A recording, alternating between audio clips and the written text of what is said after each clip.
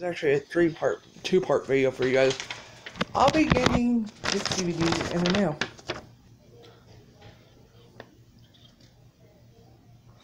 Dragon Ball Z 16 movie collection. Yep. Thanks to my Anthony's, I got 20 bucks. I spent 25 on it. My dad put me out a little bit, and this is what I'm also gonna get. With the 20, they're both coming from Jacksonville, North Carolina. They're shipped to my sister's house. I'm not gonna mention what sister, but you know I mentioned her in the comments, Missy. But yeah, shipping her house. I hope she takes care of it. But yeah. By the way, Missy, this isn't a shout out.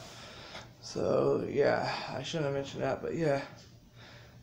But I hope she keeps it safe.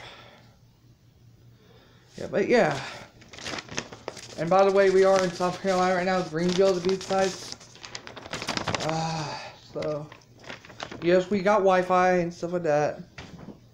But yeah, I'll be getting this one and this one in the mail. They're both here by November 30th. So I'll do a review right away for you guys when I get some. So, other than that, please subscribe, leave a comment below. This is Hall, and I'm out of here.